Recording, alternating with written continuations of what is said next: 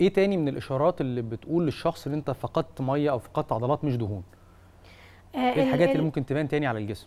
ال ال الشيب بتاع الترهل لو الجسم فيه ترهلات يبقى أنا كده فقدت جزء كبير قوي من يعني العضلات ممكن يكون بتاعتي. في ترهلات مثلا في منطقة البطن؟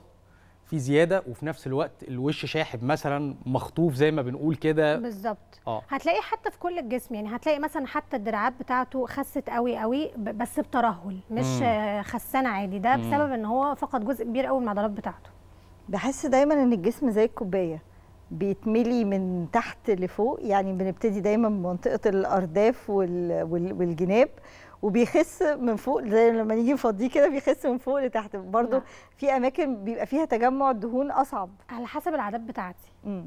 يعني الموضوع معتمد على العادات بتاعتي والعامل الوراثي كمان. أنا ال- العيلة بتاعت تاريخ العيلة بتاعتي شكل جسمه عامل إزاي. آه وبيعتمد كمان على أنا بمارس رياضة ولا لأ. كل ده بيفرق طبعا. بس لأ هي ربنا خلقنا الدهون عندنا والعضلات بتوزع بشكل منطقي وبشكل مظبوط ومتساوي في الجسم كله. ملهاش علاقة. لا ملهاش علاقة طبعا. طيب طيب. خلينا نشوف بقى نظام ال- الأكل. نعمل ماشي. إيه في الأكل في الصيف؟ أنا لو إحنا عايزين نخسر دهون ولا بنتكلم على life دهون طبعاً. آه، life style عادي؟ لا لا عايزين نخسر دهون. عايزين نخسر دهون.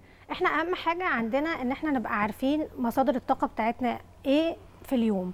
أنا محتاجة إن أنا يبقى أزود البروتين بتاعي الدهون تكون مصادر دهون صحية زي السمنة البلدي بتاعتنا زيت زيتون. الكلام ده بلاش الزيوت المهدرجة لأن فيها سعرات عالية قوي وهي كمان مضرة مم. حاضر النشويات إن أنا آخد نشويات معقدة آه عشان آه آه، نشويات معقدة يعني هتقعد في الجسم أكتر. فبالتالي هتحسسني بالشبع. أكتر آم، النوم بتاعي من الحاجات برضو اللي محتاجة إن أنا أظبطها يعني ما ينفعش أبقى بظبط أكلي قوي والرياضة ومبوظ النوم بتاعي عشان الهرمونات لما بتتلخبط في الجسم بسبب النوم هتخزن عندي دهون. أنا طبعا الكلام الكلام مؤثر فيكم قوي. آه، إيه النظام الغذائي اللي أقدر أتبعه؟ ما أقدرش أقول نظام غذائي يناسب الناس كلها لكن أقدر أقول إن إن كل واحد على حسب ظروفه. اللي يناسبك مش هيناسب غيرك. تمام. لكن أنا عموما كل وجبة بتاعتي يكون فيها دهون ونشويات وبروتين. تمام؟ تمام. ولازم أخلي آه، آه، فاصل ما بين عندي ثلاثة option يا أخلي آه، فاصل ما بين ده الناس اللي عايزه تفقد وزن.